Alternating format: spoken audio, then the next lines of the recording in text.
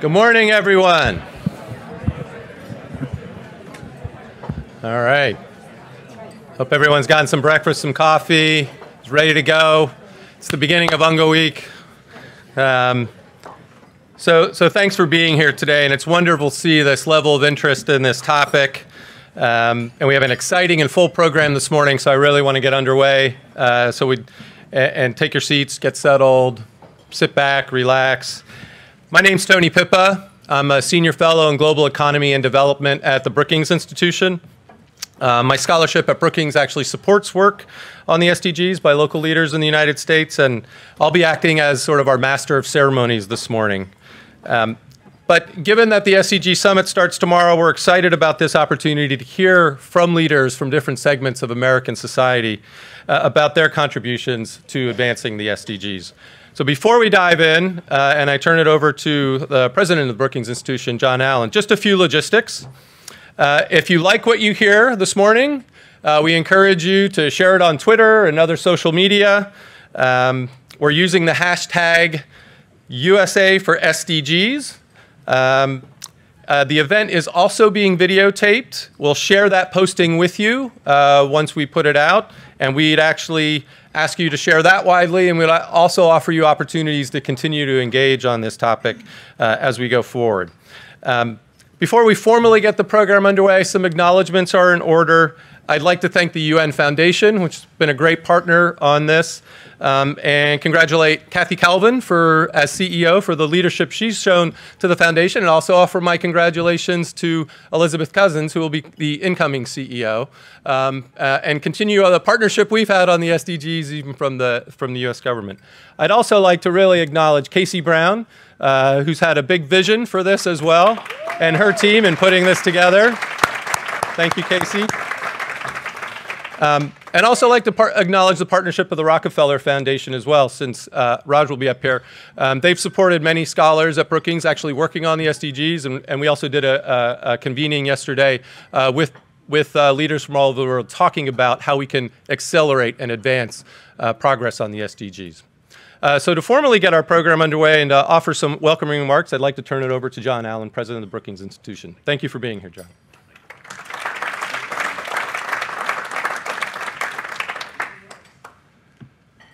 Ladies and gentlemen, welcome, and it's wonderful to be with you this morning. It, this is a group of leaders that are making a huge difference in this world.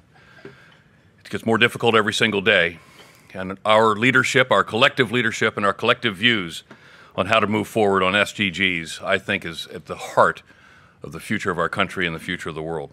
Tony, thank you for this welcome. The UN General Assembly is a time for world leaders to come together to discuss our most pressing, pressing challenges. While much attention will be focused on those leaders' statements from the floor of the UN, the summits throughout the week are equally important for generating action. In moments just down the street, UN Secretary General Antonio Guterres will open a climate summit that calls for more ambitious actions from governments, from private businesses, from civil society, and citizens to tackle climate change. Tomorrow will mark the beginning of the SDG Summit, where heads of state from around the world will collectively review global progress on the SDGs it is the first high level check in of its kind and something that is scheduled to happen every four years from now until 2030. The SDGs, a collective commitment agreed upon by the member countries of the United Nations, strongly reflect American values. Their focus on leaving no one and no community behind, and their grounding in human rights, access to justice, and democratic governance, as well as environmental sustainability, reflect a vision of sustainable development and echoes the ideals that have guided our own American growth and prosperity. But sadly, the U.S. is the only OECD and G20 country that has not volunteered to report within the UN and its SDG progress. Uh, to call this a disappointment would be a significant understatement, yet hope remains. I often make the distinction between U.S. leadership and American leadership. And examples are that cities and state governments universities and philanthropies, corporations and NGOs from the United States are actively engaged on advancing SDGs locally and globally, and they're exhibiting leadership on issues of human rights, social equity, climate change, and sustainability. There are American leaders and American institutions empowered by a shared commitment to values and the greater good of our international community. Our aim is to focus on that leadership today and to learn about its contributions to social and global progress.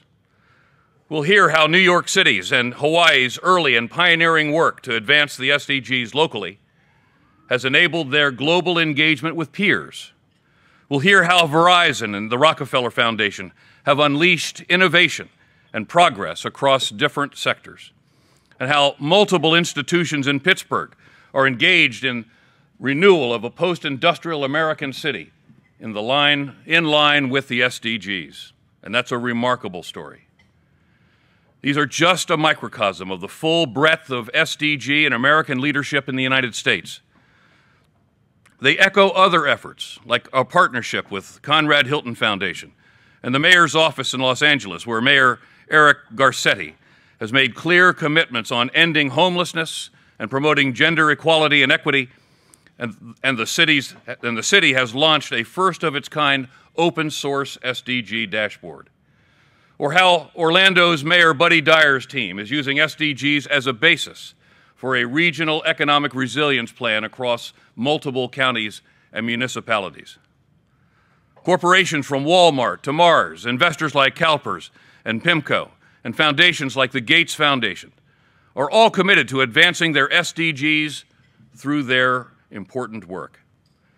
And while individual educational institutions as diverse as Occidental College Arizona State University and Spelman College are providing opportunities for their students to work on the SDGs locally, universities are also coming together collectively through initiatives like the U.S. Sustainable Development Solutions Network, which started last year, and the University Global Compact, which just launched at the Rockefeller Foundation last night. Ladies and gentlemen, the more we align ourselves with important and uniform, uh, unifying international norms like the SDGs, the better the outcome will be, not just for the United States, but for the world. This is also, by the way, what the American public believes. Seven in ten Americans say it is best for the future of the United States to have an active part in world affairs. This collective action reflects the spirit and the desire for engagement by the American public and the intrinsic American leadership found in so many places in the United States today and hopefully again in the world. So to get us started, I'm pleased to introduce Kathy Calvin, President and CEO of the United Nations Foundation, and Hans Vestberg, CEO of Verizon Communications, and Raj Shah, President of the Rockefeller Foundation, to discuss how their global institutions are advancing this vital agenda. Thank you very much, ladies and gentlemen, you're most welcome here. Good morning. You're here. Hello. Where would you like? Hi, everybody. Uh, why don't you guys sit either on side. either side? Okay. Okay, good. So thank you Five seats and three people. So I'll You sit can here. sit here. Okay, okay. Here. I didn't know, you know. Hey. It's hard to know. Oh, good morning. Morning. Okay, sorry, Kathy. All right. We're all here because we're so hungry for this kind of connection here in the United States. And John, thank you for that great call about how this is about American values because it is. The SDGs are about as American as apple pie.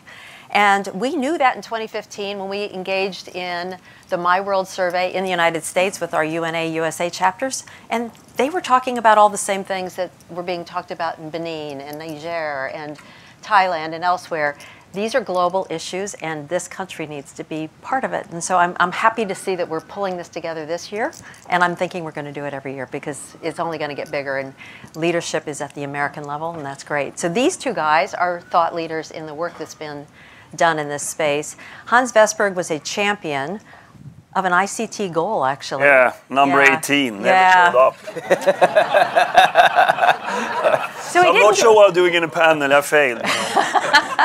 but instead, they adopted ICT in all the goals. Yes. So I think Yeah, you yeah, won. yeah. All right, I was Thank you. good. And he Thank was at you. Ericsson then and is now the chairman and CEO of Verizon, a large American company. And so we'll hear about that. Raj Shah obviously was at USAID when the goals were being adopted and led the way America shows up around the world, but has also been at the Gates Foundation, is now running Rockefeller Foundation, which has put the SDGs smack at the middle of their work. And that's fantastic and congratulations.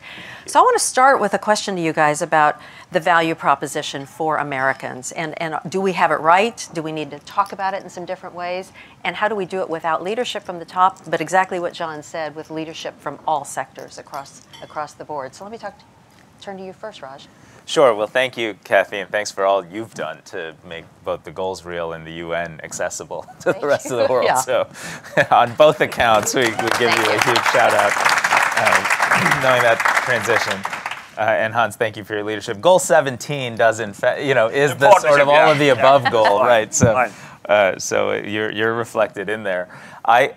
I, I was reflecting on, on what the goals actually stand for. You know, 17 things is just too many things to summarize. And to me, uh, they're a set of goals that really make the point that by 2030, people shouldn't have to live in pure subsistence poverty and all of the violence, insecurity, uh, violation of human rights, and deprivation that that comes with.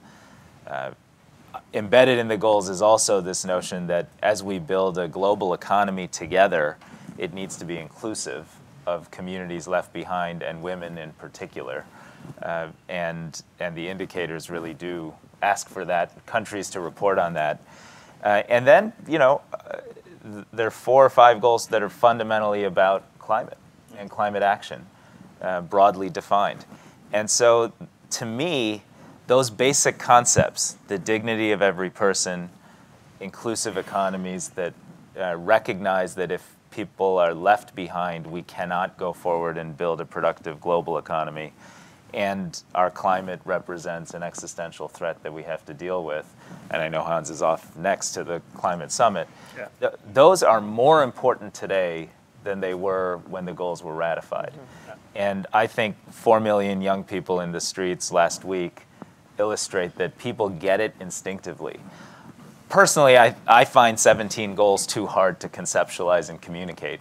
And, uh, you know, I think we probably ought to rethink how we talk about them because these are not about solving poverty in lower income countries. That's not what the goals are about. They are specifically about every country really tethering themselves against those three objectives and the you know the lack of political leadership we see today uh, to achieve the goals the walking away from multilateral institutions the undermining of alliances uh, that sort of defines our uh, our politics these days uh, is in my view all driven by the reality of those three concepts. And so we need the goals now more than ever. We need companies and philanthropies and governments to do more now uh, than they ever have before.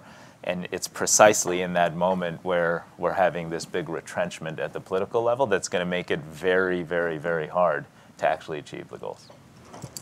Hans. Um, now, I think that for a corporation is is a little bit different. I mean, you you can. I mean, first of all, you realize that you have a huge responsibility to lead a company in our size. Uh, 140, 150,000 employees. Uh, so of course you, start there, and I think for us it's, so normal. You know, first of all, I love philanthropy and I think it's great, but for a corporation, that's not what you do when you work in society. It's part of your strategy.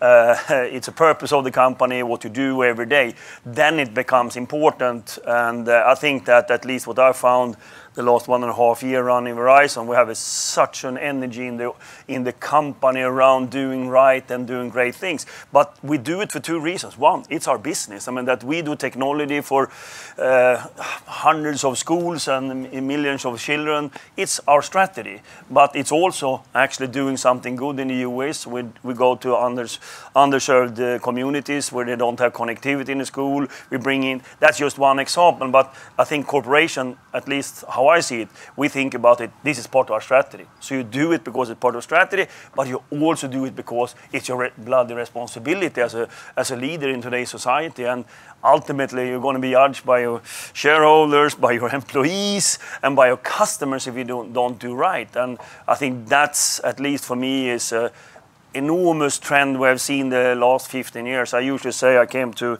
Davos the first time 2007 or 8 or something like that, and you know I felt very alone talking about Millennium Development Goals. I can tell you.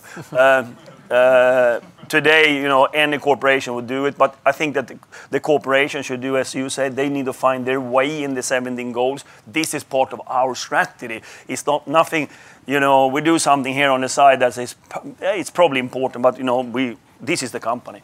It has to be embedded. And I think that's when you get both the right impact and you do the right for all your stakeholders, not only the society. And I think that's what at least we have found in Verizon and the last year been a fantastic rally around these type of things, but it's connected to our strategy. We do it for our shareholders as well.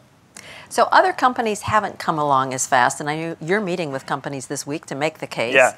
European companies may be further along. What's what, what do we need to do to make that argument, particularly in local communities. You need to demystify what, what this is all about. I mean, uh, many corporations say, no, we don't have time for that. I think it's much more about, hey, this is part of your strategy. This is part of how you act as a 21st century corporation with big responsibility.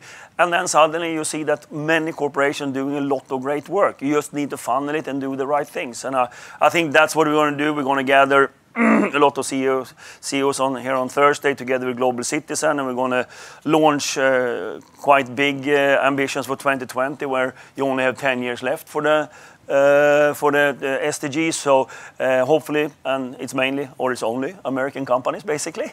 Uh, so yes, we're going to rally that together with Global Citizen, and uh, so that's going to be an exciting way of, of sharing what we all are doing. But again, it should not be the same. It should be part of our strategies. Hans is a board member of the United Nations Foundation. This is what we love about this attitude and strategy. So, you know, you, uh, you both mentioned the MDGs, and I, I think philanthropy sort of sat out the MDGs in some weird ways that just were frustrating, but are starting to show up more in the SDGs. But where do you think philanthropy needs to go? both at the community level, where it would be so great to see community foundations, but also at the, at the global and national level. Well, I, you know, I, I agree with that assessment of the SDGs, and I think part of the challenge for philanthropy in general is, you know, there's no quarterly earnings call or annual reporting process, and and so you get to choose whatever you want to do. I think at this point we've said the Sustainable Development Goals are the things we have to do as humanity to really. Uh, protect our planet and build the kind of interconnected economy that is inclusive of everyone. So for us, when we did our strategic planning, we said, okay, our health initiative is about bringing data science and artificial intelligence to the task of accelerating progress against MD, SDG 3, mm-hmm. uh, specifically saving 6 million women and children's lives. Our effort, which we call Smart Power, which is investing in solar and mini grids uh, around the world to provide energy access to those who don't, who still live in the dark, is about bringing 300 million people uh, electrification using renewable power, and that's about SDG 7. So I think at this point, if you're a if you're in philanthropy or the NGO sector and you can align against big, measurable, we have a preference for quantitative goals, uh, they ought to align with the SDGs. And in food, in energy, in health, uh, we're able to do that even our work in the United States, which focuses on the 90 million Americans that are in households that work full time, uh, headed by someone working full time but still cannot make ends meet and live in working poverty, we think that that is a solvable problem in the United States. That tracks against the SDG and primarily is women headed households. Yeah. Uh, and so, so SDG 5 in particular. So I, I feel like it ought to be possible for most philanthropies to say these are the these are how our efforts map to these goals. We're asking that of business. Yes. Right? If we're asking that of business, and if Hans, who does have quarterly earnings calls, yes, I have, and can spend a week doing every this, quarter, then we ought to be able to lead by example. Yeah. And to me, uh, too few U.S. philanthropies are, have have done that. Yeah, and it's a shift in long-term versus short-term thinking in any sector. That's a challenge. I know you got to run. Talk about data and you've raised data and technology, and both in closing the awareness gap, but also in delivering, because it's going to take that to get to 20. Yeah, no, I always talk about uh, the 21st century's infrastructure is actually mobility, uh, uh, broadband, and cloud. Basically, with that combination, uh, you don't uh, you don't need to think about where you are, where you live, where you're born, because suddenly you can deliver it. So I think that the whole idea of seeing that we get the total digital inclusion is for me sort of a, a must, uh, sort of a platform for all the 17 goals. Uh, and of course, then data comes into place because suddenly you get information, you can access to it, uh, you can healthcare, education, whatever it might be, equality because you have equally much information if you're male or a female. Uh, and we have seen some really worrying signs when it comes to studies around that, that male has much more uh, access to data or, or, connectivity.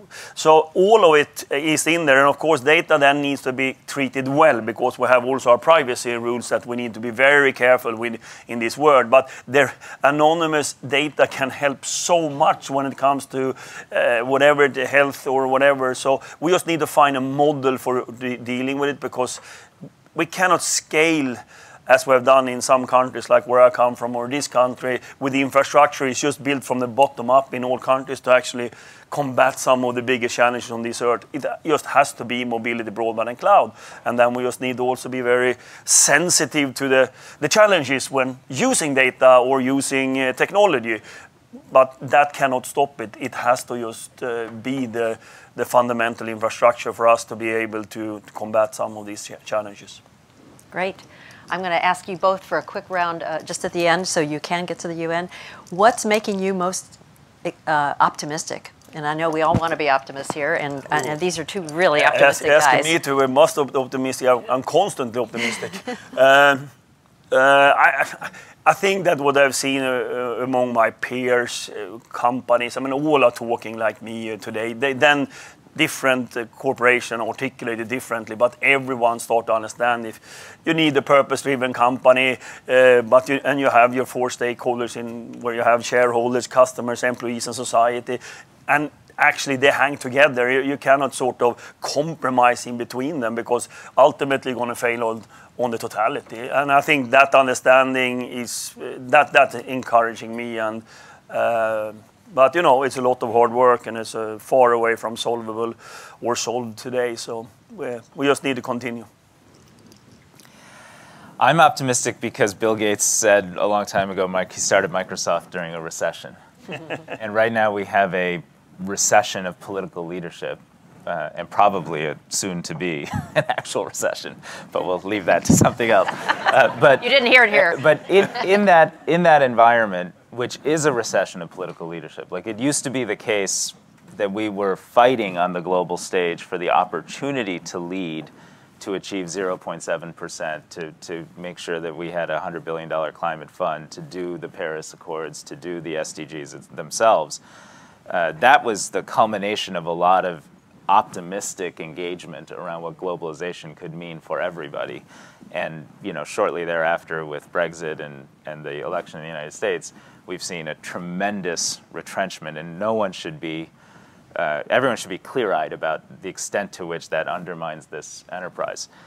That said, it is in that moment that business leaders set, step up and sign the, the, the roundtable declaration that we should be multi stakeholder in our governments. It's in that moment that philanthropies say, okay, maybe we can't just do our own thing and we should align against the SDGs in a quantitative, measurable, transparent way it's in that moment that four million kids show up, or young people show up to protest and say we we have a, a voice in this effort. And I think when our politics corrects ourselves, corrects itself, which I believe it will, we will have a much more durable, much more engaged, much more multi-stakeholder effort to solve climate, to solve poverty, and to solve inclusiveness in our economy. And that will set us up to be really successful in the long run. Wow. And it's a moment when cities are taking the lead, and that's a that's community thing that we really want to celebrate. And we'll move to the next panel. Thank you, Raj. Thank you, Hans. Thank you. And good luck on UNGA Week.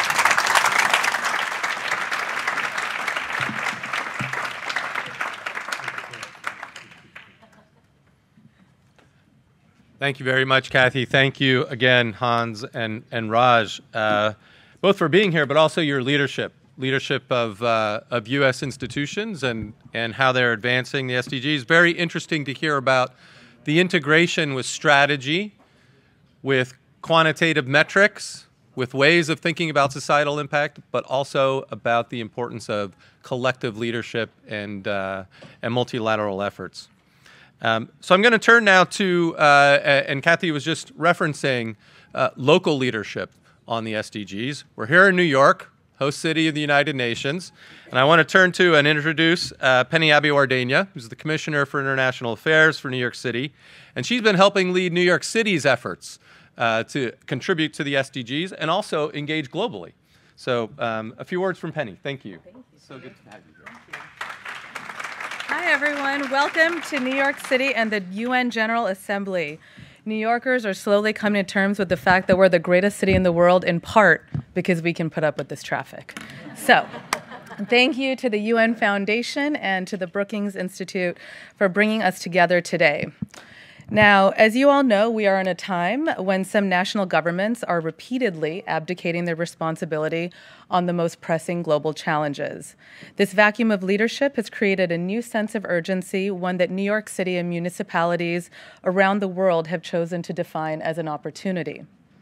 Where national leadership is absent, cities are championing the values of fairness, inclusion, and cooperation on the global stage. These values are reflected right here in New York City in the progressive policies the de Blasio administration has catalyzed throughout the communities that we serve.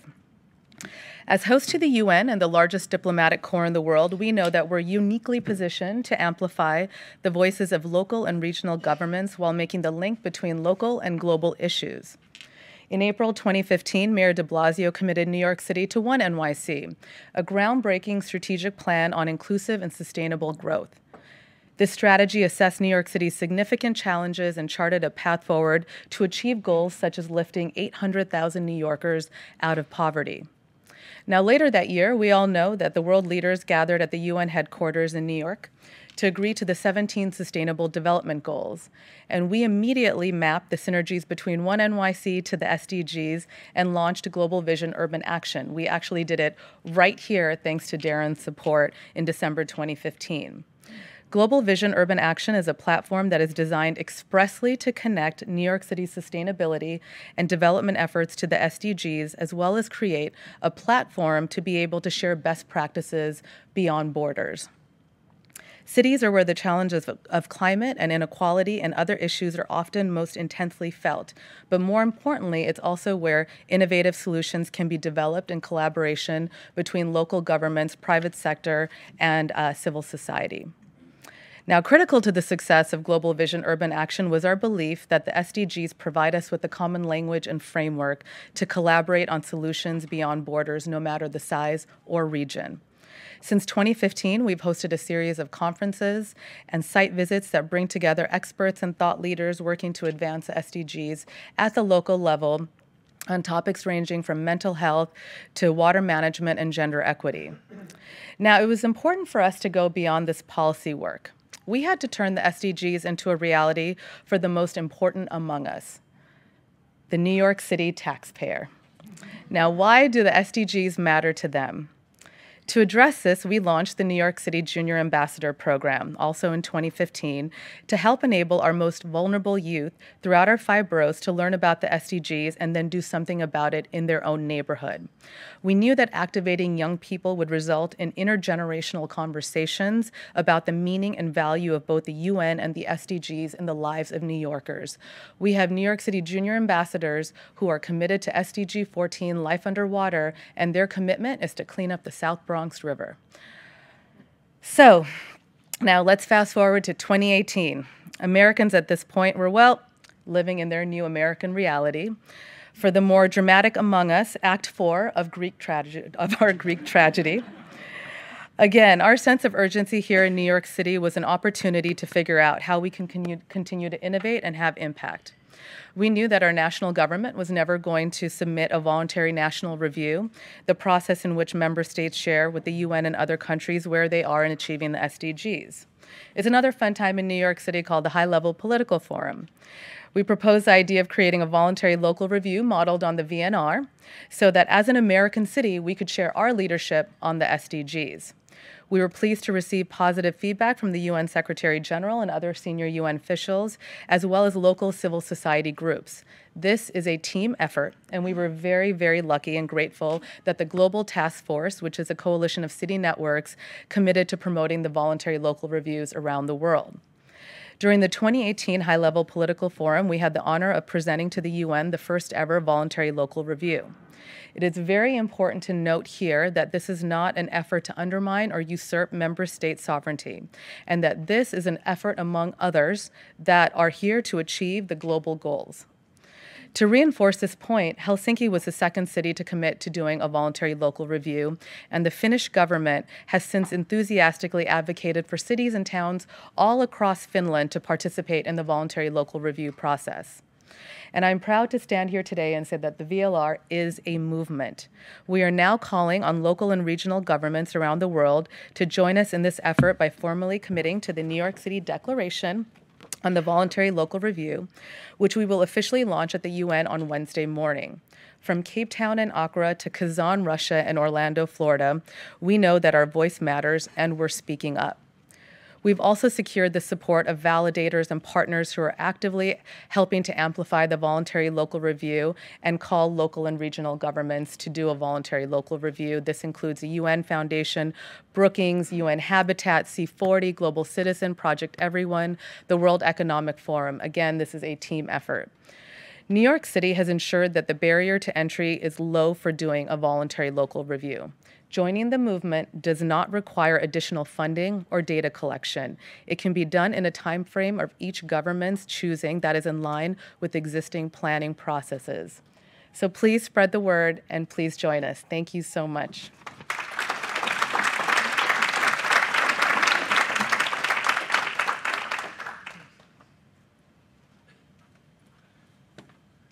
Thank you, Penny. And as you heard, a good bit of American innovation there pioneering a voluntary local review, something that really, uh, uh, and I'm, uh, I can uh, attest to what Penny said, something that's really caught fire and is now becoming a global movement, um, and which is exciting because it really is at the local level where these goals, which can sometimes seem a little theoretical or aspirational, become uh, solving real problems for real people in real communities. Um, and uh, and wonderful to New York and, and their leadership. Um, they saw early on through their own city strategy how it aligned to the SDGs, and then decided to, to let the world know and their, their own citizens know um, that they were part of a global movement, and and how um, as we began this conversation. How those SDGs also reflect what's important for American communities and, and American values. So now I'd like to turn uh, and hear a little bit more from a group of stakeholders from Pittsburgh uh, about how the work that's going on in Pittsburgh uh, reflects the SDGs and how the SDGs provide a, a, basis for that. So I'll turn to Ashok Regmi, who's the um, He's the Director of Social Innovation and Citizenship at the International Youth Foundation, uh, and ask our, our participants from Pittsburgh to take the stage. And we're waiting on one more participant uh, who, in the midst of uh, New York traffic, is on his way. and Penny, you know, we know that this is New York during UNGA Week. well, good morning, everyone.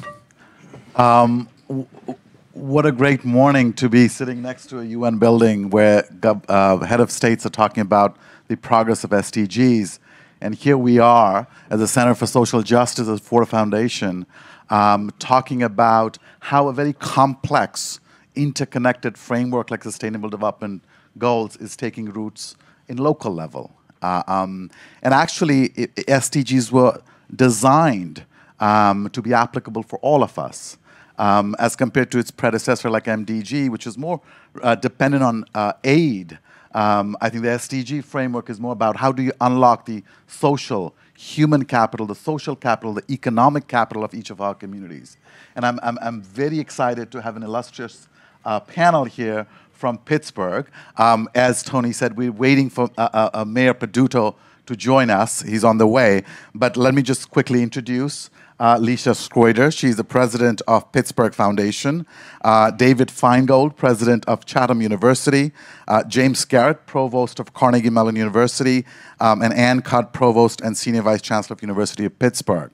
Um, so to my colleagues on the panel, we have about 25 minutes to prove that uh, Pittsburgh could be a model city. Uh, so I, would encourage to keep your answers short so that we can have a, a, a good conversation. So let me just go um, uh, to provost Provost uh, uh, uh, James Garrett from Carnegie Mellon University. Um, your university recently made some serious commitments around SDGs in a, in a kind of on a systems organizational level. Uh, could you share with us what those are and why now? Thank you, Ashwin. First, let me. oh, sure. Thank you. First, let me thank the UN Foundation and the Brookings Institute for uh, hosting this event. It's an important reminder during these chaotic times, that American leadership comes in many forms. Uh, now, at, at Carnegie Mellon, we have a long standing history of making real and practical impact, not only within our campus community, but also throughout the world. Uh, we have to be good stewards and active participants in improving our campus, local, and global environments. Sustainability is one of our university's core values. We have a shared commitment to lead by example in preserving and protecting our natural, natural resources. But we also recognize from the conception of the SDGs that sustainability is more than just about natural resources. Our university's focus is on education, research, and uh, practice in building environmentally sustainable uh, and peaceful just communities. We're building on two decades of an, of an engaged effort to support a broader definition of sustainability. So while we have a long history of practicing sustainability efforts on our campus, many of our members of our community, as well as local residents, are unaware of the 17 Sustainable Development Goals or how these goals represent a wide-reaching set of opportunities for global impact. So earlier this month, Carnegie Mellon launched a new campus sustainability initiative. What this initiative recognizes is that universities such as ours have an invaluable role to play in achieving the Sustainable Development Goals. To live up to our institution's responsibility in ensuring that progress is made towards achieving these goals, today we announce these six commitments. We commit to educate CMU students around the world about the SDGs, recognizing that this framework applies to all of us and represents a special opportunity to create more peaceful, a more peaceful, prosperous planet with just and inclusive societies.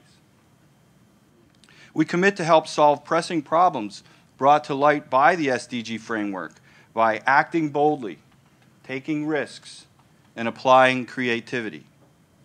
We commit to do this work collaboratively, an approach that's deeply embedded in our university culture. We commit that through education, research, partnerships, and operational activities, that we will demonstrate advancements of the SDGs at Carnegie Mellon University. We commit to create a voluntary university review of work being done at CMU and will report these findings in New York as the UN General Assembly meets next year.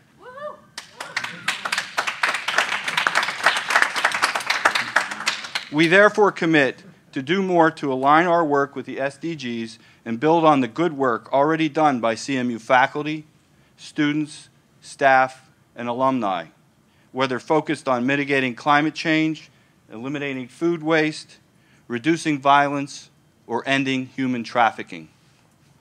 We want Carnegie Mellon to have an, uh, the Carnegie Mellon community to have an understanding of the broad definition of sustainability.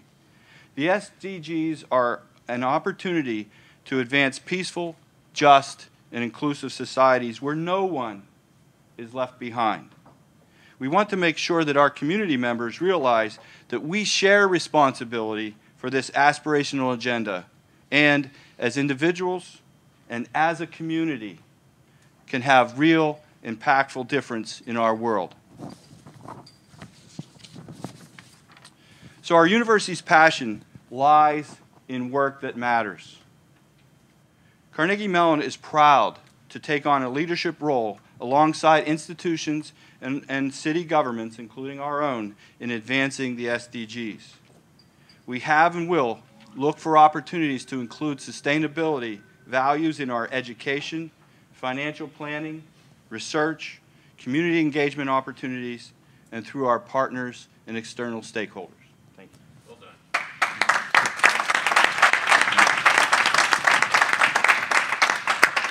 Provost Garrett, thank you, because um, I think doing a voluntary local review probably would be the first university doing it. Uh, um, it shows the kind of leadership that Carnegie Mellon is showing. And one thing that stands out to me is is is uh, if you look at SDGs, you have a post MDG goals, then you have a climate cluster. But sometimes it's very hard as an uh, as a, as, as a global community to really look at the concept of just, peaceful, and inclusive societies. We're talking about how development is done, that nobody's left behind, and the fact that you're using these terminologies to ensure that your institution is also looking at it in, in, in a cohesive way uh, is something very admirable. So thank you for your for your leadership. Now let me go to uh, uh, uh, Lisa Schroeder. Lisa, you, you are new to the oh, Pittsburgh Community Foundation one of the 30 largest community foundations in the United States, uh, but you're not new to the uh, uh, place-based concept and sustainable development goals. Mm-hmm. Talk to us a little bit about the role of philanthropy, community mm-hmm. philanthropy in particular, um, in aligning um, and working on this agenda, and what are some of the work, uh, some of the work that Pittsburgh Foundation is doing around this agenda? Yeah, um, very. I'm very proud to be here. I think we all are um, to speak to the ways that in Pittsburgh sectors have been coming together for decades to reverse the course of crisis in a, in a great American city. Um, I am a new president at the, at the Pittsburgh Community Foundation, but have worked um, for 20 years in the city um, and have seen that it's all true. It's not buzz. The public, private, nonprofit, and NGO sectors in, come together with universities to make solutions happen on the ground. And I think what's so exciting about this moment today is that we have a chance through the compact of universities that has come together to really mobilize formally and energetically around uh, a decade of very serious implementation, um, digging in to make the SDGs part of uh, not only our discourse but our action. The Pittsburgh Foundation has a 75 year tradition of working toward the, the, the um, in, intrinsic goals of the SDGs for vulnerable populations to erase poverty in all its form and to make opportunity accessible to everyone. What is uh, unique about a community foundation is that in the law and under the tax code, we are the keepers of community investments. We're a charitable organization that uh, that that at this point um, today shepherds more than 2,300 funds contributed by regionally focused donors, individuals, and families who have the interest of the future um, of, of of the region at heart. Um, that gives us a tremendous platform. So there are two things that I think the Pittsburgh Foundation can bring uh, to, to this compact. One is that we have a tremendous uh, history and also a latitude through the interest of the commitment of our donors to work in all of the areas of SDGs to achieve justice and sustainability and, and economic opportunity um, and, and to address climate change. Um, we, we also have uh, um, ability to advocate and convene. And many of you may know that Pittsburgh is is famous, and it's all true for having a very robust uh, philanthropic community. We have a tremendous number of foundations, uh, most of whom are focused in local and, and regional action at home. Um, and I am finding that my peers in the foundation community are very eager to have the Pittsburgh Foundation use the ability that we have under law to convene parties coming together and, and to advocate for the kinds of change from policy right down to the to compliance and standards advocacy that people have spoken so beautifully to this morning. So I could not be more excited for 10 years of, of uh, continued action, and I think Pittsburgh can continue to be a leader in how to make change for everyone. Great. Thank you, Lisa. The, local, power power of advocacy in really we have 10 years and continuing to kind of bring it on the forefront um, on the local level aligning the work of many of the philanthropies you talked about in pittsburgh is so key so thank you.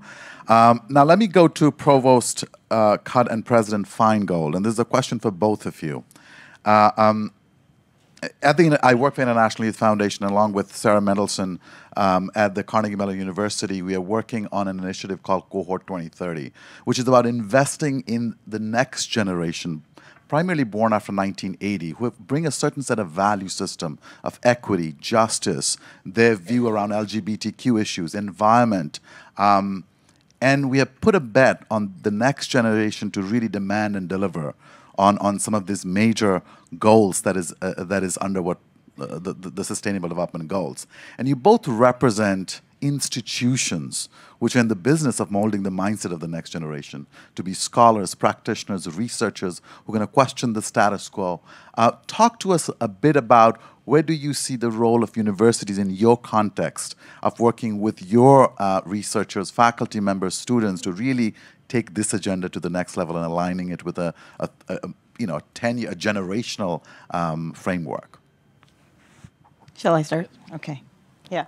Well, first, let me also say how inspiring it is to be here uh, representing the University of Pittsburgh on this uh, uh, very distinguished panel. And one of the really special things about Pittsburgh, I think, is how universities and the city and the foundations all work together cooperatively, and I think that's represented very well on this stage, or it will be as soon as our mayor comes. um, but uh, oh, let me also express our strong commitment to the Sustainable Development Goals. We take very seriously our mission to educate uh, young people, future leaders, to lead lives of impact, to make a real difference. Um, in the way that uh, Ashok was talking about. And the, the, the SDGs I see as a real uh, outstanding guide and framework by which we can plan and frame what we're doing, both at Pitt and in Pittsburgh and in the world. Um, in preparing these remarks, I was uh, struck by uh, how many ways uh, we address all of the sustainable development goals throughout our education and our engagement of our students in our community. Um, but having just a few minutes, I wanted to give you just a few examples of, of some of the, the ways that we're addressing the goals. So um, naturally, in our wheelhouse is goal four, the quality education. Um, and uh, we have 14 students who've been selected to be Millennium Fellows, um, joining together with uh, the, that um, uh, Millennium Campus Network uh, to focus on UN SDG goals uh, as part of the United Nations Academic Initiative.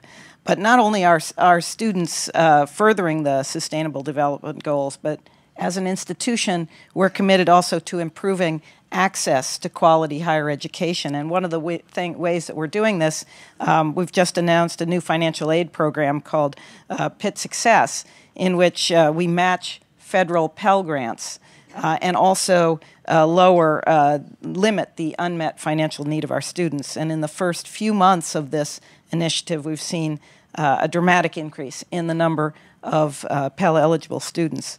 And in a similar way, we're also committing to our local uh, public school students um, with a public scholars program. Uh, all of the valedictorians and salutatorians from the public schools in Pittsburgh uh, are guaranteed freshman admission and uh, a substantial so scholarship support.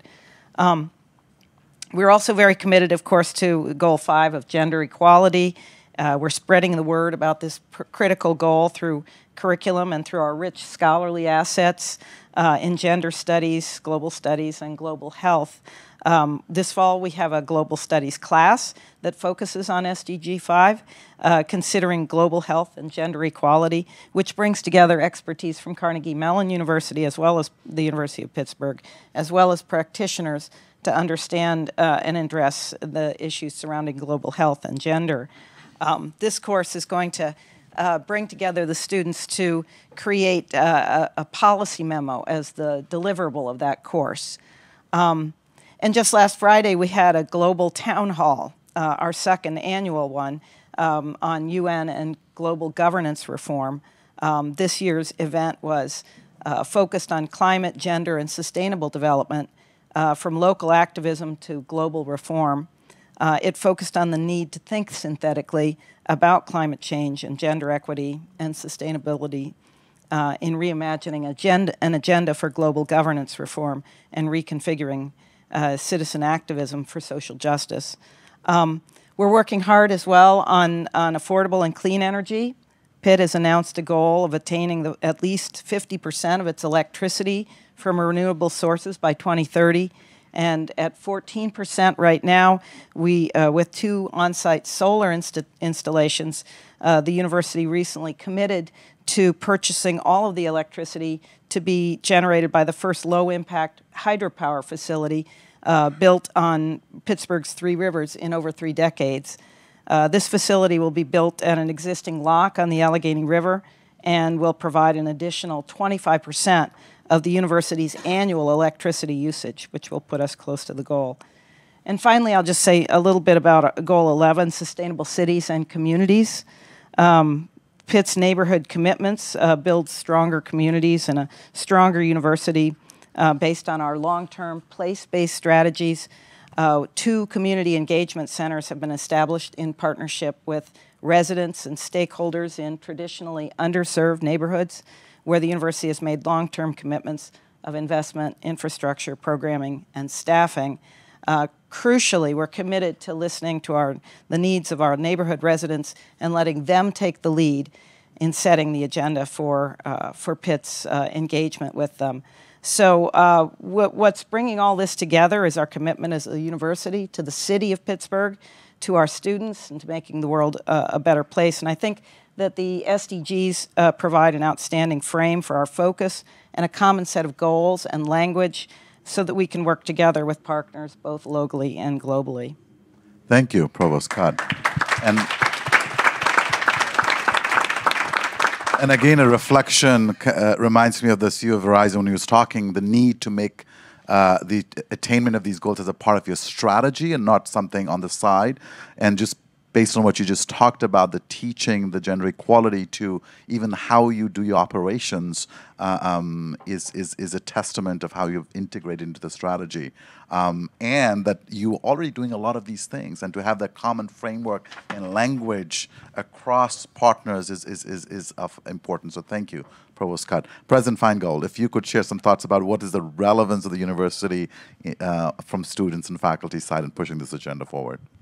Absolutely. And first, thanks again for including us. I'm guessing almost everyone in the room knew Carnegie Mellon and Pitt before they came in. Maybe not everybody's heard of Chatham University, but we've been sort of punching over our weight now. This is our 150th year um, in this area of sustainability. Um, back in uh, 2008, um, we were one of the very first um, institutions in the world to create a school devoted to uh, sustainability. And I think when we think about how we address these issues, we think of it in three interrelated ways. So we think about our education mission, we think about leading by example, and we think about um, what can we do in working with our partners in Pittsburgh and in the community to really learn by doing, because that's what we think the Sustainable Development Goals are all about. So when it comes to education, the Falk School for Sustainability and Environment, not only are we educating undergraduate and master's degrees to understand in a systemic way and solve problems around the Sustainable Development Goals, but we're reaching out more broadly to the community. So we have thousands of K through 12 students who come through and they share projects they're doing in their schools around these goals. And the fun thing is the audience are the local and political leaders from the state level who come in to hear from the students themselves what are the challenges that they're facing and what are their solutions. Uh, we are also working, as we were advised by our commencement speaker, Mary Robinson, last year, who said, you know, the solutions to these challenges are really going to take the elders like herself and Nelson Mandela working with this new generation. And so we're working with multi generational approaches to make them aware and tap their talents for what this might, might, might need. And we ensure that absolutely every student, like Carnegie Mellon's new commitment, as part of our mission, takes a course on sustainability, whether you're in the health sciences, whether you're in the liberal arts, that everybody understands and is able to apply these approaches. In terms of leading by example, um, I, I, misstated earlier. The school was founded in 2012, but in 2008, we undertook a new campus, the Eden Hall campus, which is built out as one of the most sustainable in the world. Basically, a living learning lab for sustainability, where food systems, new energy systems, geothermal and solar, where organic agriculture, aquaponics, even built our own artificial uh, wetlands to process the waste of the plant. So this is really a test bed for all of these ways of sustainable living. And it's something that Chatham lives across the university. So we were a charter signatory back a decade ago when the US didn't ratify Kyoto. This was an a way for us to say we're on board with universities around the US and around the world to meet a zero emission target. And so Chatham was one of the first 50 signatories to that. And we measure ourselves using the STARS framework, which has been established to look at all of these, not just on our energy use, but on water, on composting, on the environment, and on, on meeting the SDG. But I think the most exciting way we do it and what we find is most effective with this new generation is actually doing the learning by getting out in the communities. And so we work with the Pittsburgh Food Bank run by one of our alums to grow on the Eden Hall campus and distribute that food and enable them to get access to additional resources. We work with the mayor's office in the city on the Food Policy Council to try to see in a, a city that has plenty of food, how do we eradicate hunger?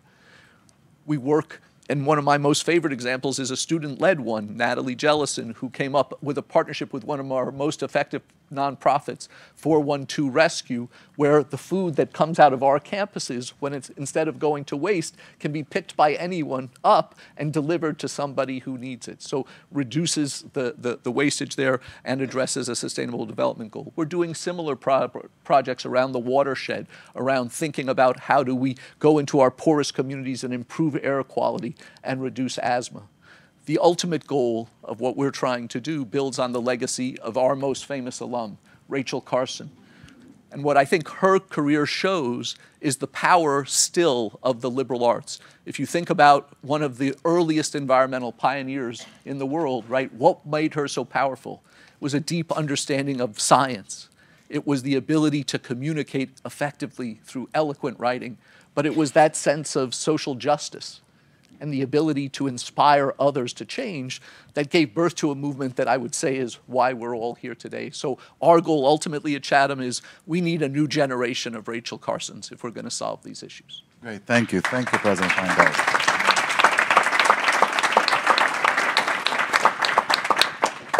One thing that stood out uh, to me uh, um, was when you talked about applying what you have learned in the class, real world application. And I think you know, if these goals were to be met, and if we are in the business of, again, getting the next generation um, be the leaders, um, practitioners, and researchers, it is important for us to look at how do we activate through universities in real world applications of some of these issue areas and that I, we're trying to resolve. I would just clarify a little bit there. I would say it's not so much apply what you learned in the class, it's that the class is actually out At there. The, it's, it's exactly. using the community, it's using the campus as the way of learning because that's what, that's what yeah. excites the students when they see the ideas they're working on be put into practice. Excellent. Thank you. Now, my question is, as, as we wait for the mayor, um, why, this is a, you know, as Raj was saying earlier, it is a 17 goals complex, 167 indicators, I believe. 69, 169 indicators. Uh, um, how do you make it relevant for young people in Pittsburgh, or for that matter, for citizens in Pittsburgh? What, what, what challenge do you see uh, in aligning it with a, a pretty big framework and an opportunity? Well, I maybe jump in quick. So I, I think the nice thing about it is its comprehensiveness. So if you say to a young person, you know, tackle 169, no, no, chance. But almost anyone can find at least a few. And of course, there are so many connections among them. So for us, you know, until five years ago, we were an all women's institution. And so gender equity, women's education. If you address that, we know you address so many other issues as well around inequality, around food access, and other things. And so I think what we say to people is find within this framework the place where you, that connects with you, where you can make it. How you can connect with your own passion points. It's Yeah, broad enough. Community. Anybody else? Uh, I, I think the SDGs are an excellent framework for, in fact, exposing the community to all the different dimensions of sustainability. There were people working on projects that probably weren't thinking, maybe they were, but many weren't thinking about them as being part of this definition of sustainability. Now, when we announced our initiative and uh, welcomed students and staff and faculty from all over campus, it was really a, a, a first, first of all, very exciting and very uh, heartwarming to see how many different people from across the campus in different, diverse, different areas were interested in participating. And so I think, uh, to, to David's point, folks are seeing where they fit into this concept of sustainability through the SDGs. I, I don't think at Carnegie Mellon we're going to address all 17 right out of the box. We're going to prioritize, identify which ones are uh, ones we can make progress on early, and which ones are going to be a heavier lift and, and will need more time over o- over a period to be able to make some progress. Lisa? Um, from a foundation standpoint, I uh, completely agree in on um, coming from the passion. We we receive proposals from from young people and and activists and nonprofits in the community broadly. And what is amazing is how much of the work they are impassioned to do that lines up precisely with the SDGs. So I think that alignment goes both ways. Um, in preparing in in learning what our foundation currently does, that's in alignment. Um, I sat down with our pro- program team, who produced a four page single space matrix of all of the projects that are just youth led, um, youth action on the ground to address the challenges that they are facing, whether it's LGBT rights or social justice, criminal justice, and the energy that is coming from the community is there, and it is, it's palpable, and it's really um, an amazing resource. If I could just briefly add, uh, 17 goals is a lot of goals, but if you look at a university, you have people with passions that address so many different topics. It actually uh, is is almost uh, not not enough. So what what's great about the 17 goals is that um, the things that we're doing in the universities, um, we have 13 different schools, for example, within the University of Pittsburgh itself. Um, all can be seen as rowing in the same direction through the, s- the 17 Sustainable Development Goals. Great, thank you. I have been shown a sign of zero there, which means we have to end. But let me just end, uh, end this by saying that, you know, SDGs is pretty pretty bold. It's you know we're talking about not halving, but zero uh, poverty, zero hunger. We're talking about making it. Uh, um, making us accountable and we're talking about just peaceful inclusive society which is not part of you know mdgs in a way of how uh, we do our business, not just what we do. So what that requires is is a different kind of leadership, an audacious, courageous leadership, which we see on this panel and which you also see outside, like Greta, the next generation. A leadership that is not just going to focus on uh, doing things right, but actually doing the right thing. So thank you so much, and I look forward to seeing what Pittsburgh would look like in 2030. Thank you for your work.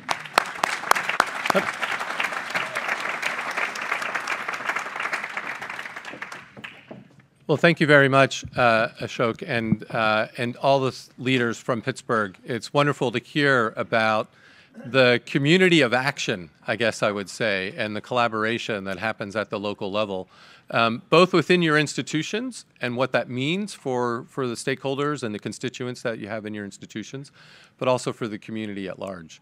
Uh, and what it's meant for Pittsburgh, and uh, and congratulations on the commitments and the work that you're doing um, to sort of display what it looks like for a U.S. community, an American community, uh, to take on the SDGs in their full breadth, Um, those 17 goals, 169 targets, I'm sorry, I'm partly responsible.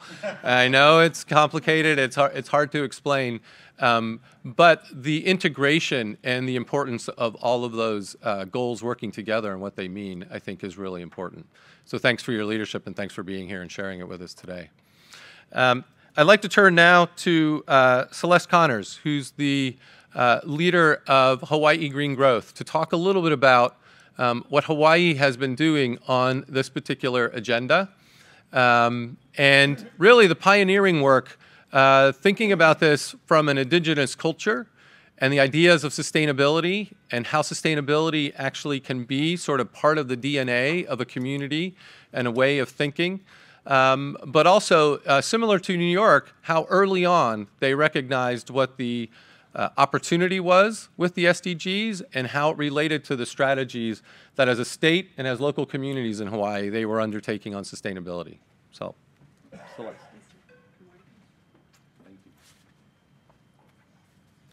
So, aloha and good morning.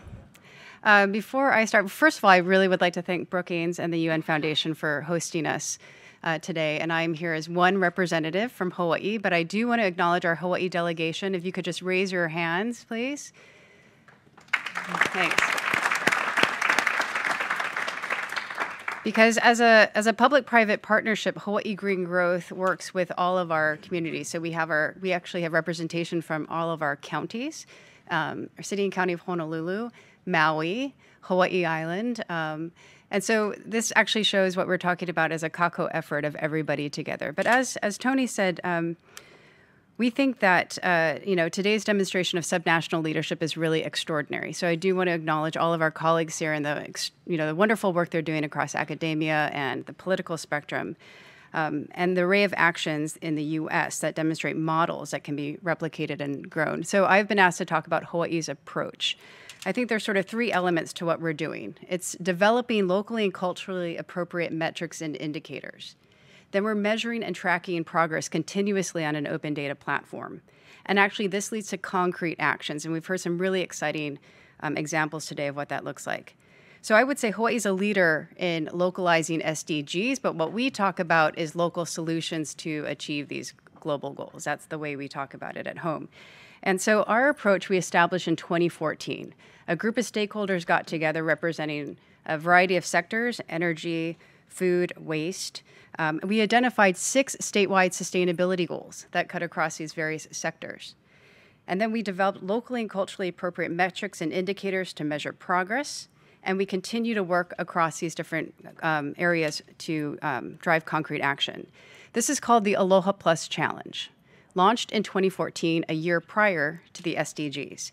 I mentioned we have a public and private partnership platform, the Open Data Dashboard to measure progress. This includes both quantitative and qualitative data, as we realize some things you just can't actually put a number or a figure on. Um, our effort was early, um, and it was public and private from the start. The Open Data Platform is available on the state.gov website. I encourage you all to look at it. We're constantly working with our network to say, are we measuring what matters? And when we undertook our effort, we actually went statewide. We convened with our civil society partners, our fish pond operators, our executives from our airlines, our mayors. We got everybody together. It would take us a long time to figure out. Actually, it might be impossible for everybody in this room to choose one place to have dinner tonight. Imagine trying to track what green workforce in education looks like. But we did this at the local level. We're tracking AINA based education. We're looking at the Ahupua'a model for Hawaii and how we look at watershed management. The second key point is we have unparalleled political coherence. This effort involves our four mayors and the governor, the Office of Hawaiian Affairs, the University of Hawaii, our Hawaii Community Foundation has been a key supporter, um, and our civil society partners. So, this is a joint commitment to align the SDGs through our Aloha Plus Challenge framework. We all agree that this is good for Hawaii and that we have something special to offer given our unique background. So, today, um, our sustainability business forum that we convene that includes a diversity of partners and our CEOs. We're launching an exciting initiative with our local Nature Conservancy office in Hawaii to pilot the first carbon offset in the state. So we anticipate this will be an 8,000 acre reforestation effort, which we estimate will generate 120,000 credits within the first 10 years. In addition, they have signed on to an energy efficiency audit Um, and now their CO2 savings and cost savings are being tracked and measured on the dashboard. And they've already achieved $4 million, in, uh, 4 million in kilowatt hours in aggregate savings as a result of signing on to this. But the key issue is they want to be tracked on the dashboard. They want to show that unprecedented accountability and transparency. But who else is the dashboard serving? The dashboard, as I said, not only has quantitative metrics, but qualitative. And it's really important for us to engage our youth, and we heard from our, our colleagues. So we partnered up with a local school group, a network of school groups that were actually uh, diverting their food waste for over two years. And we talked to them, and we saw that they were tracking their data on a, on a whiteboard. So we said, could we actually work with you to develop an app? and they were actually selling the compost um, to the garden club for quite a high price and then reinvesting that in their food waste diversion program. We worked with them to develop an app, and now the students are actually taking that data, putting it onto the Aloha Plus Challenge dashboard, which directly rolls up to the SDGs. And now they feel like they have agency and they feel like they're actually part of a global movement and really making a change. So we're very excited about that. We're also convening partners to support Hawaii's goal to achieve 30% nearshore marine management by 2030. Um, as oceans health is the foundation of our economy and our economic well being and our way of life and our sustainable tourism activities. And we're working with partners to develop green and resilient infrastructure investments to reduce waste and advance water, energy, food nexus priorities, which islands actually have a really good story to tell. So we're working across all of our SDGs, and SDG 17, partnerships, is a key component of what we do. Finally, um, we believe that this is a collective challenge that we're all facing. So it actually needs collective action. And so we are committed to working with our neighbors, um, local, regional, and national. Last year, as part of the launch of the Local 2030 initiative, um, Deputy Secretary Amina Mohammed's leadership, Hawaii was actually recognized as a Local 2030 Islands Hub. So we were the only island hub, the first in the Pacific. And we were actually asked to work with other island economies and coastal areas to develop, again, locally and culturally appropriate metrics and indicators that resonate with local communities and how that actually rolls up to achieve the global goals. Um, so we've aligned our island and host culture values, which are grounded in core values of aloha, kuleana, to steward, malama, to care for, Aloha you'll find in our in our SDG pin. And we've aligned our island values with American values, which are community oriented and a commitment to the common good. So this Thursday, we'll be convening with other islands for the Island Strong, uh, excuse me, the Climate Strong Islands Initiative, where we're convening with islands across the United States. This is everybody from Martha's Vineyard uh, to Guam and Saipan to the Florida Keys and Hawaii. And we're actually looking at what U.S. leadership through an island lens looks like. And why is this important? Because we think that islands have something important to share. On Friday, we're launching a, a global network, a local 2030 Islands Network, which will include president from Seychelles, um, Marshall Islands, excuse me, Micronesia, Guam, Ireland. And we're showing that this leadership is local, regional, and looking at island economies across the board. There's a Hawaiian pro- proverb, he va'a he moku, he moku he va'a. The canoe is an island, and the island is a canoe. So in Hawaii, we've always been aware of the sense of finite resources and really the need to manage this in what people are calling a circular economy, we call an island economy. And these are not new solutions to islands. They date back thousands of years. And what we're actually doing is by looking at what is culturally relevant and appropriate to communities better able to stimulate global action. Or, as President Remengesau of Palau once said, we are all islanders living on island Earth, and how islanders can actually help to um, share this island worldview. So, I would like to join, uh, actually, invite you to join our effort um, to spread an island worldview across America and the world to achieve our collective goals. And I look forward to working with you all this week. And congratulations and good luck with everything everybody is doing. So, aloha and mahalo.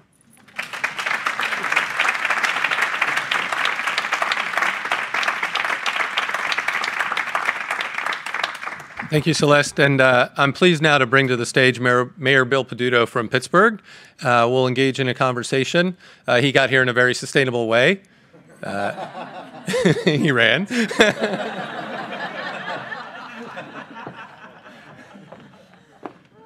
ditched the cab about uh, two miles up the street. Just here. Why don't we come into the Thank you. So thank you very much, and thank you, Mayor, for being here. Thank you for accommodating. thank you, thank you for your for your efforts to be with you. And and we heard a little earlier from uh, from uh, many colleagues and, and leaders uh, in the from the city of Pittsburgh, sort of the commitments they're making through their institutions on the SDGs, and also the spirit of collaboration that really happens in Pittsburgh. But I guess it, it would be interesting also to get from your perspective, um, and you've been working on a, a new city strategy, one PGH. Um, you know why why the SDGs? Why why is it important for one PGH to sort of reflect the SDGs? What's the connection? What does it mean to the city of Pittsburgh? Well, I, uh, Pittsburgh's blessed because we have such a strong foundation community. We're the second largest philanthropic city in the United States. Uh, the only other one having a guy named Gates that lives there. And the fact is, is that was the wealth that we built through the second industrial revolution, and it didn't leave. And there was a commitment back to the city that became so much more strengthened when the economy collapsed. Uh, because the need was there to hold the city's head above the water, and it's still there today. Uh, the city reemerges, it's eds and meds, and the institutions now are not only the rudder of where this new economy is going, but they're the engine as well, and they realize that. And there is this commitment to looking at how we can create our own resiliency plan. How can we be able to create a plan that's going to recognize those constant stresses, racial inequity, environmental degradation, poverty, and all of the symptoms of it?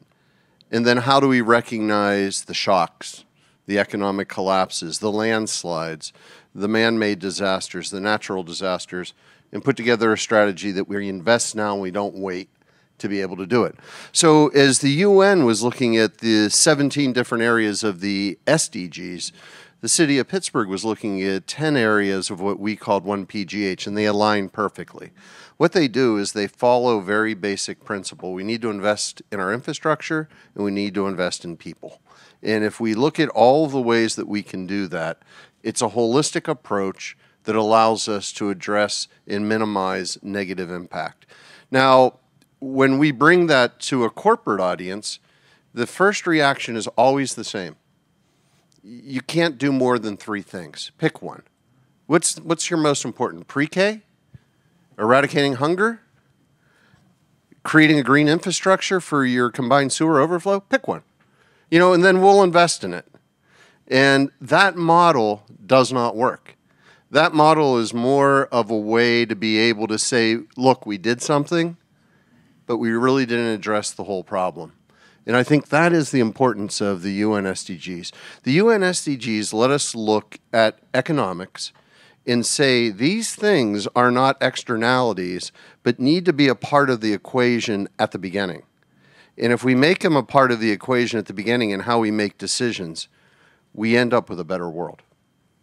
That's very interesting. So thank, thanks for that. So it's it's um, it's looking systematically and systemically. Yes. Um, and It's a uh, succinct way of saying it. and um, talk a little bit about too, because I know in in the city strategy, as you as you've thought about it, um, you're trying to measure.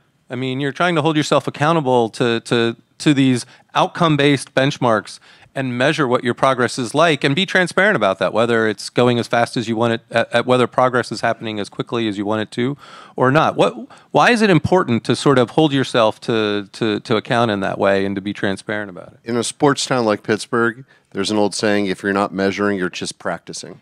so you need to be able to see where you are and not only where you want to go to.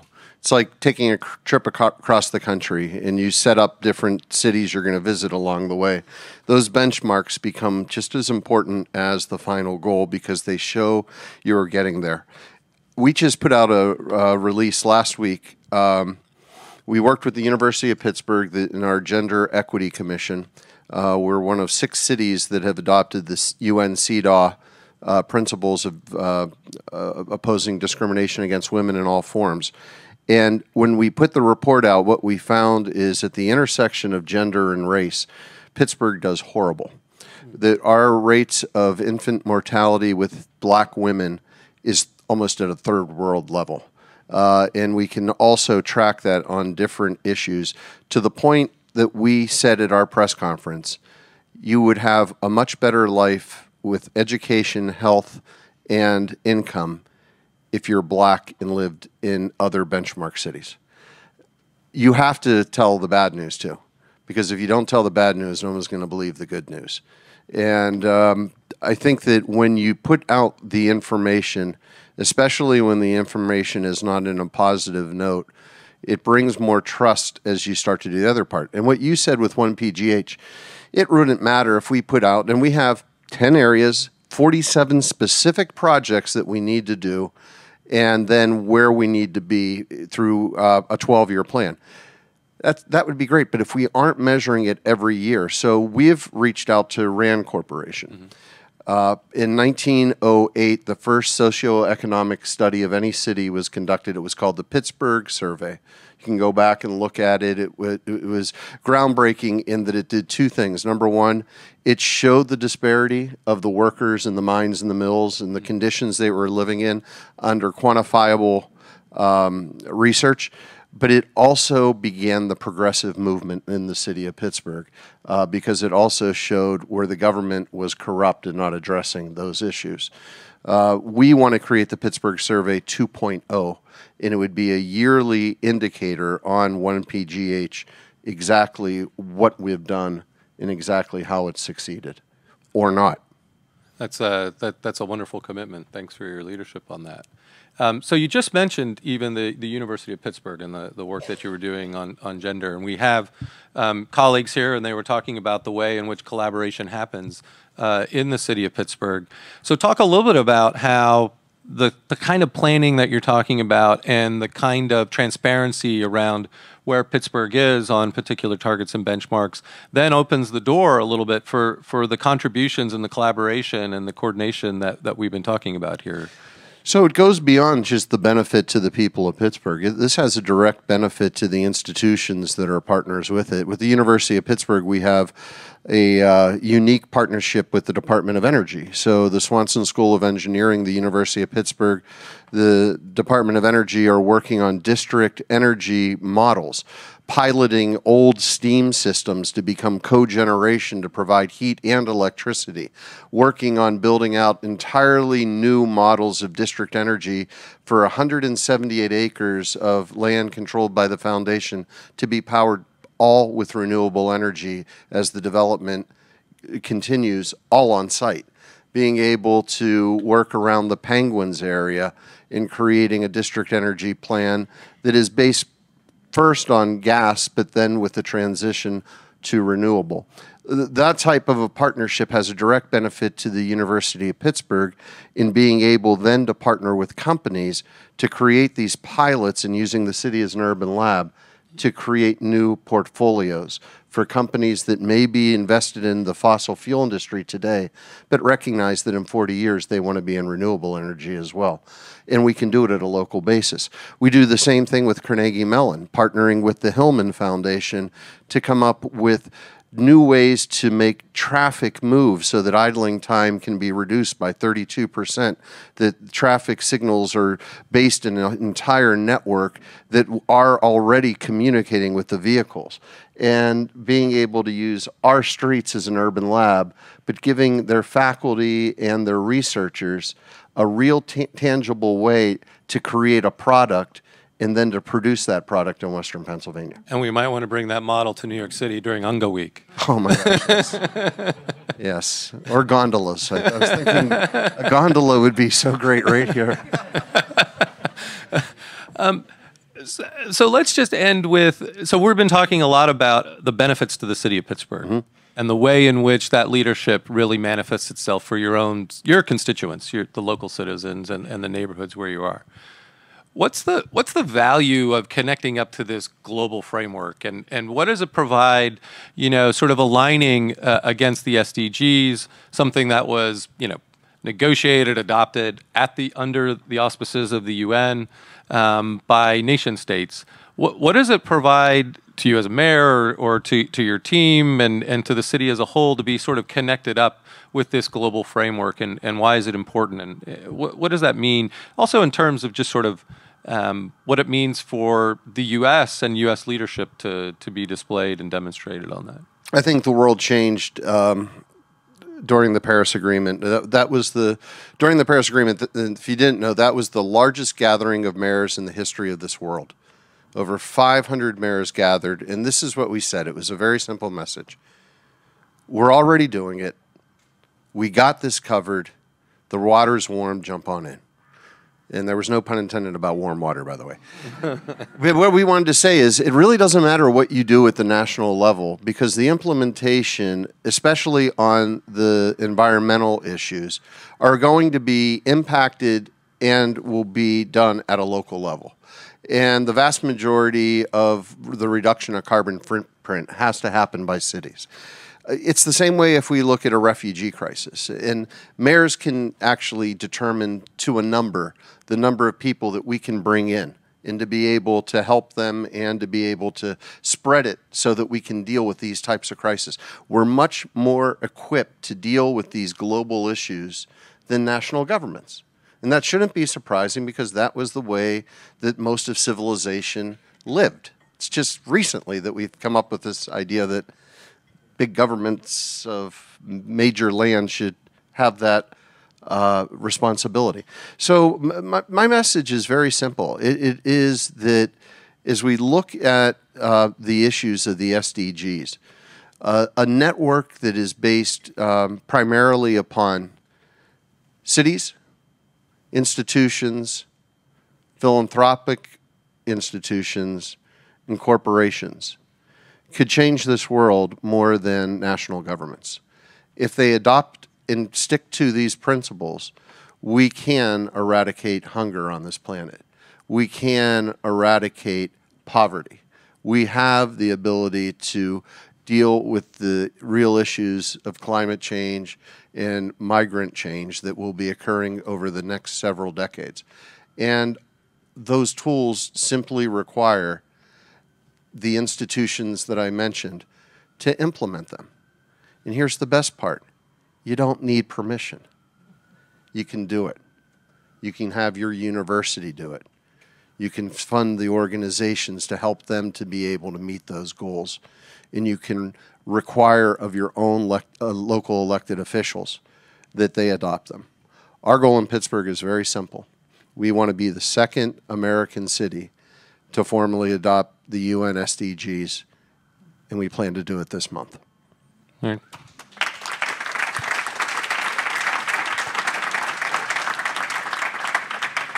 I think that's a note for us to to bring this uh, gathering to a close. I want to thank you for your leadership and for your willingness to be here, and for your extra effort to be here with us this morning. Um, I hope all of you have heard.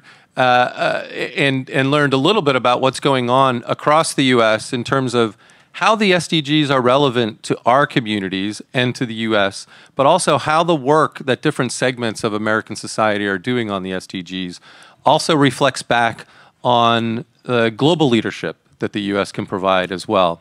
I really, uh, it, it's so gratifying and inspiring to see the room packed and the interest in this. Um, it's so inspiring to hear about the work that's going on uh, at the local level from the commitments that we heard um, made earlier in Pittsburgh and, and in New York and Hawaii, um, from the global leadership that institutions like the Rockefeller Foundation and Verizon Corporation um, are projecting. Uh, and so I would just challenge all of you to, to look within and say, what can we be doing on this agenda? I know many of you in the room are doing this and our leaders and, um, and at Brookings, we'll continue to work to help aggregate that and support that with research and analysis to take it further. Thanks again to the UN Foundation, our partners in putting this on. And Kaysie, hats off to you. And where's Krista? Krista, who's like been the magician behind everything. Thank you, Krista, um, for keeping us.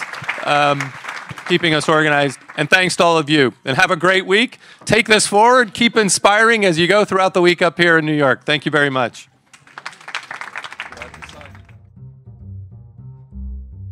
Thanks for watching. Be sure to like and subscribe for more videos from Brookings.